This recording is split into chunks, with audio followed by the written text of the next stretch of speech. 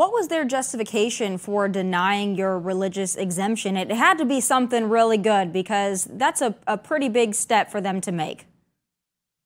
Uh, their justification was simply uh, health and safety. I think one of the examples was that I wouldn't be able to wear a mask uh, in my airplane, but I fly a single seat fighter, so I don't think that's too necessary. Those that have been grounded because of this vaccine mandate, what are they doing? Are any of them leaving to go to other places if they're able?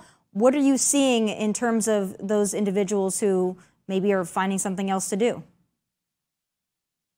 Well, the folks that can leave certainly are uh, in a large number leaving, and even the folks that are vaccinated, at least in the fighter community, are leaving uh, pretty rapidly. We have a pilot shortage crisis. In, in 2017, the chief of staff of the Air Force called a 1,500 pilot shortage a crisis, and that number has grown to 1,900.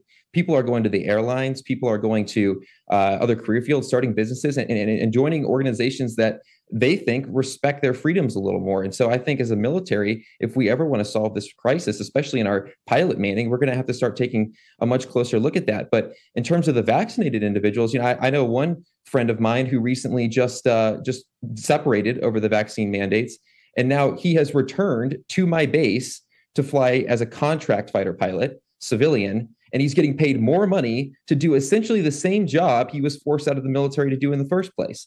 Uh, and so it's just it just seems to defy common sense to me that, that we're doing this and then hiring civilians to do the exact same job. And so uh, we really, I think, could be more efficient and, and more serious about this mandate.